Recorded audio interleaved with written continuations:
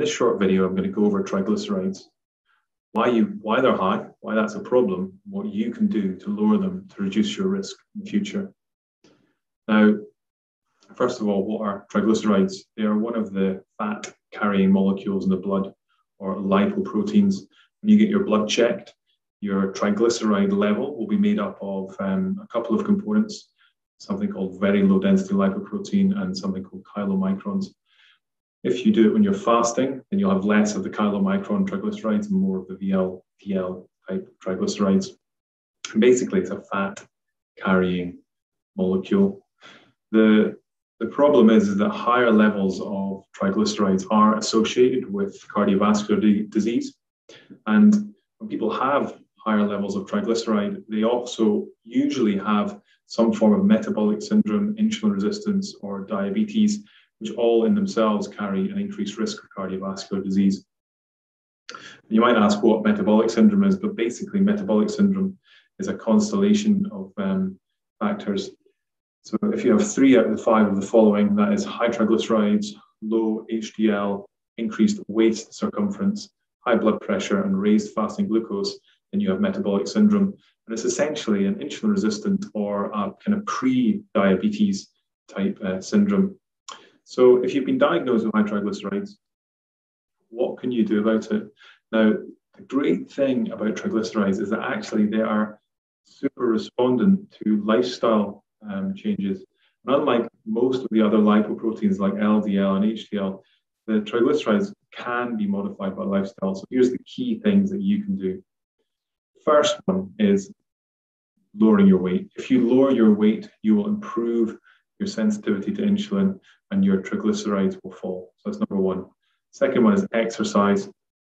Uh, exercise, um, again, lowers triglyceride levels, and that's independent of any weight loss that you do. So if you have these, when you start exercising, what you'll do is you'll improve your insulin sensitivity, and actually you'll start to see your triglycerides fall just with exercise by itself. Third one, alcohol. Alcohol really pushes up triglyceride levels so if you're um, drinking to excess, by cutting back on your alcohol intake, you'll see your, your triglyceride levels will fall. Another thing that you can do um, in terms of um, supplements is that basically, uh, if you increase your intake of fatty acids like omega 3 fatty acids, you can start to bring your triglycerides down. You can either do that by eating fatty fish and oily fish or taking an omega 3 supplement, which will help, help to reduce it. Now, one thing that a lot of people don't talk about is the effects that carbohydrates actually have on insulin. And basically, when you eat highly processed and refined carbohydrates, particularly if you're insulin resistant, your glucose is pushed into making fats. And these fats increase your triglyceride, basically are, seen by increasing triglyceride levels.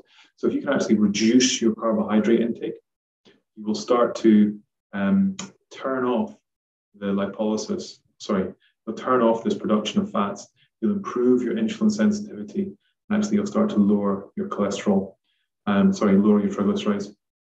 And there's one type of sugar in particular which pushes your triglycerides up, and that's fructose. And fructose is one of the components of sucrose. So fruit, a sucrose molecule, a sugar molecule, is made up of glucose and fructose. And fructose um, does increase your um, triglycerides quite considerably.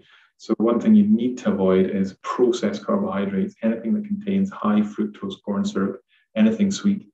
And by eliminating and reducing processed carbohydrates from your diet, you should see your triglyceride level fall.